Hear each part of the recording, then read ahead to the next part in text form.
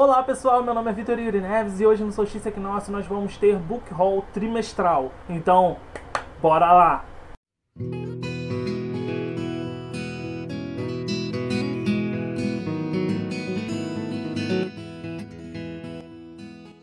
Vocês podem ver o último book haul que eu fiz clicando no cardzinho que vai aparecer aqui agora. Nele eu digo que eu pretendia fazer um book haul por mês, sendo que eu percebi que isso não ia dar muito certo por vários motivos. A partir daquele book haul, eu me apliquei uma espécie de desafio que era só comprar um livro a cada cinco não lidos lidos, se é que vocês entenderam. Esse projeto tá indo em frente, eu tô seguindo com ele, então eu acumulei muitos livros já lidos e eu não havia comprado nada, então eu realmente comprei, comprei muita coisa. Então deixa de enrolação, bora lá! Os primeiros dois livros que eu vou mostrar pra vocês, e claro, se é uma trilogia, eu compro a trilogia inteira como se fosse um só. Eu acho que isso pode, não pode, gente? Enfim, se não poder vai valer, porque sou eu que faço as regras do meu canal, né? Foi uma das primeiras resenhas Book Talks que teve aqui no canal nesse ano, como vocês puderam perceber, ainda não houveram muitos, mas isso está para mudar. Haha! Que foi o Diário de Bridget Jones e Bridget Jones no Limite da Razão. Eu comprei esses dois livros num sebo aqui perto de casa e a moça de lá me fez uma promoção bem legal se eu levasse ambos os livros. Então eu tive que levar como se fosse um só, não é? O terceiro ela não tinha, infelizmente, eu ainda não tive a oportunidade de ler o terceiro. Mas assim que eu ler, eu vou trazer o Book Talk aqui pra vocês. Vocês podem conferir o Book Talk no link que vai ficar aqui embaixo na descrição do vídeo. O próximo livro que eu vou mostrar pra vocês é O Tamanho 42 Não É Gordo, da Meg Cabot. Esse livro é o primeiro de uma série cujo eu não sei o nome, mas vai falar sobre essa personagem, Heather Wells, que ela é uma cantora de pop, digamos assim, não é? E é um tiquilite, gente. E ela tem problemas com a balança.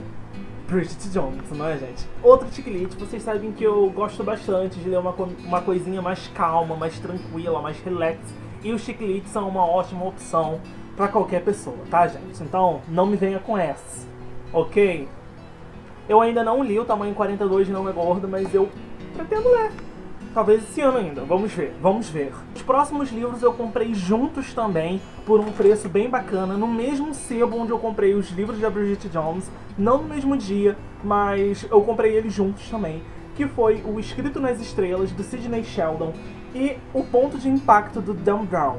Dos dois eu só li o Ponto de Impacto, do Dan Brown, que, se eu não me engano, foi um dos primeiros livros que do Dan Brown que veio para o Brasil. Eu acho que foi um dos primeiros que ele escreveu também mas já faz bastante tempo. Eu acho que eu li no meu oitavo ano do ensino fundamental, ou no primeiro do ensino médio, eu não tenho certeza.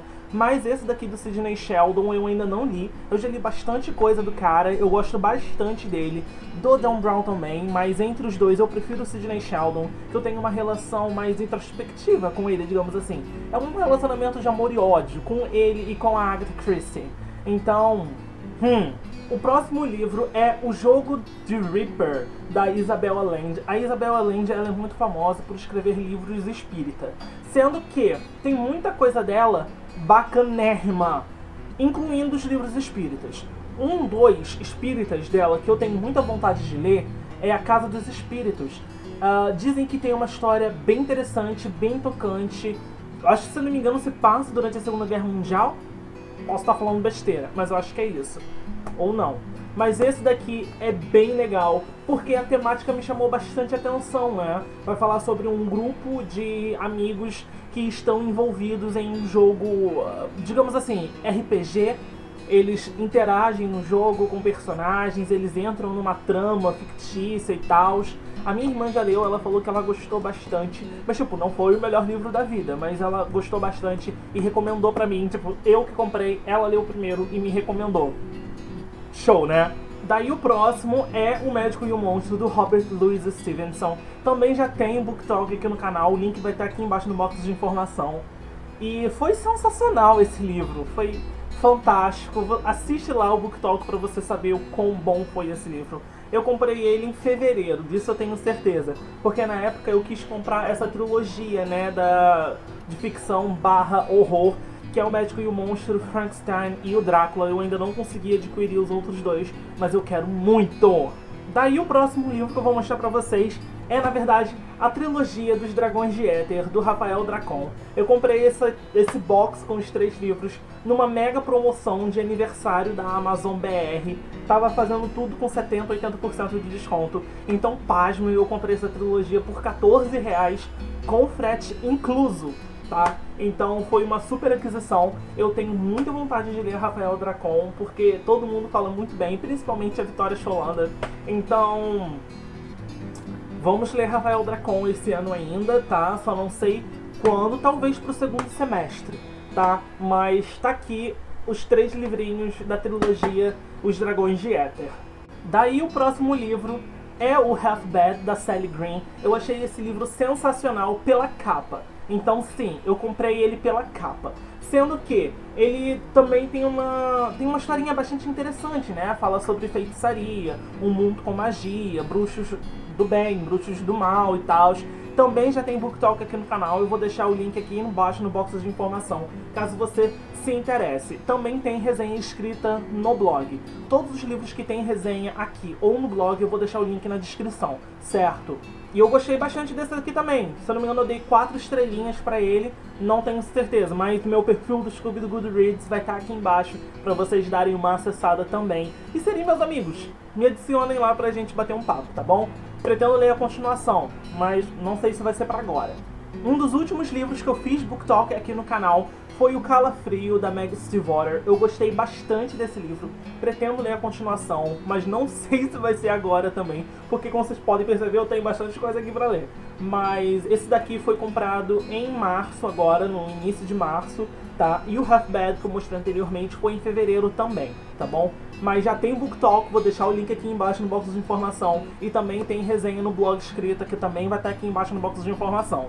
Daí o próximo livro foi um presente, na verdade, que é o Anjo Digital, do Joubert Rafaelian, que foi o meu pai que me deu para mim ler. Eu não tenho muita certeza do que se trata, mas é uma história de ficção baseada na Bíblia.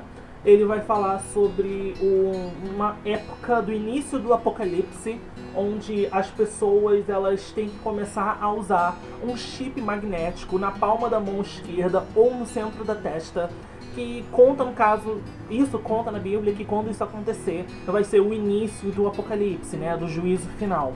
E isso me deixou bastante intrigado, porque saiu uma matéria recentemente, se eu não me engano foi na Época ou na Globo, eu vou deixar o link certinho aqui embaixo no box de informação para vocês verem, que o bom, alguns países da Europa e os Estados Unidos, eles já estão começando a utilizar esse microchip como teste. Então, se isso der certo, eles vão começar a. Eles vão efetivar essa lei, né? E vai ser uma, um, um produto obrigatório para todo mundo. Porque vai conter tudo ali, né? Os seus dados, informações pessoais, dinheiro, contas bancárias, planos de saúde, vai estar tudo nesse microchip na sua mão esquerda ou no centro da testa. Eu achei isso muito bizarro. E esse livro daqui, ele foi lançado. Deixa eu ver na ficha catalográfica em 2008. Então, não sei se eles já tinham planos para poder fazer isso em 2008, mas se não, esse livro daqui fala sobre isso, saca? E eu achei muito bizarro, vou confessar para vocês. E eu tô com um pouco de medo de ler esse livro, mas vamos ler, né? Vamos ler. Daí os próximos quatro livros, cinco na verdade, os próximos cinco livros foram todos numa compra só que eu fiz na Saraiva, porque tava tudo muito baratinho e eu tive que aproveitar. O primeiro é o Mágico de Oz, do Anne Frank Baum. Já saiu o Book Talk aqui no canal esse domingo. O link vai estar aqui embaixo no box de informação. E eu achei sensacional, gente. É um dos meus livros favoritos da vida, junto com Alice em País das Maravilhas e O Pequeno Príncipe. Então, meu, realize it, ok? É muito bom mesmo. E acessa aqui o link para você assistir o Book Talk não perca, tá muito bacana mesmo. E eu indico fortemente para todo mundo. Na primeira semana do ano, aqui no blog, teve um VIPS. E durante esse VIPS eu fiz as minhas resoluções literárias para 2016. E nas resoluções literárias, uma das perguntas foi um clássico que eu quero muito ler esse ano. E eu respondi dois livros, que é o Eu Robô, do Isaac Asimov, e O Planeta dos Macacos, do Pierre Boulet. Então, eu sempre quis esses livros, na verdade, né? Mas esse ano 2016 foi uma meta. Eu vou ter e eu vou ler estes livros. Então eu aproveitei a promoção da Amazon e comprei os dois livros, o Eu Robô do Isaac Asimov e o Planeta dos Macacos do Pierre Boulet. E eu já comecei a ler o, o Eu Robô aqui, como vocês podem perceber. E assim que eu terminar, vou começar o Planeta dos Macacos, porque, meu, muito amor! E essas edições da Aleph estão sensacionais, sensacionais. E eu comprei juntos com o Mágico de Oz e os outros dois que eu vou apresentar para vocês agora. O terceiro livro que eu comprei foi O Sol é para Todos, da Harper Lee, e me bateu uma dor no coração tão forte quando ela morreu, gente, que eu falei assim, não, não posso mais protelar a leitura desse livro. Vou ler. Comprei, aproveitei que estava barato na Amazon e com... na Amazon não, na Saraiva e comprei. Então, vou ler To Kill a Mockingbird. OK? OK. Daí o quarto, mas não menos importante, que eu comprei na Saraiva também, foi o Laranja Mecânica do Anton Birds. E, gente, essa edição daqui é aquela comemorativa de 50 anos, lançada pela editora Aleph. E eu queria muito esse livro, mas não sob qualquer versão, eu queria essa versão. Porque ela tem muitos textos de apoio, né? Tem umas introduções bem da hora, tem uns rodapés incríveis. Eu já dei uma folheadinha aqui, mas eu vou ler ele para esse semestre ainda. E ele é capa dura, sabe? Aqui tem escrito 1962, que foi quando ele lançou originalmente o livro, e atrás da capa tem o 2012, quando ele completou 50 anos. E a Aleph fez essa, essa edição linda e sensacional. E tem um diferencial, né, por dentro, nas páginas, na diagramação dele, sabe? É toda com um papel mais rico. E eu vou mostrar ele melhor para vocês quando eu finalmente ler o livro e fizer o book talk aqui pra vocês, tá bom? Então é isso aí, pessoal. Esse foi o book haul trimestral daqui do Solstício Equinócio. E eu espero que vocês tenham gostado, porque eu pretendo fazer outros book hauls trimestrais. Eu ainda não me decidi como que vai ser a ordem de funcionamento, não, não organizei a logística, mas vai ser mensal, ou trimestral, ou semestral vocês escolhem, vocês fazem o canal. Então, me digam aqui nos comentários como vocês preferem que esses book hauls sejam feitos, ok? É isso aí, pessoal. Se você gostou do vídeo, não esquece de dar um joinha, de ajudar a compartilhar com os amigos nas redes sociais. Deixa seu comentário aqui embaixo, vamos conversar um pouquinho mais sobre esse sistema de book haul aqui no canal, certo? Porque eu estou em dúvida. Sejam os meus amigos no Scooby, no Goodreads, me sigam em todas as redes sociais, vamos conversar mais um pouquinho. Eu estou no Snap agora, terminando esse vídeo, eu tô indo pra lá. Então, vamos conversar um pouquinho, certo? Beijo para todo mundo, até mais!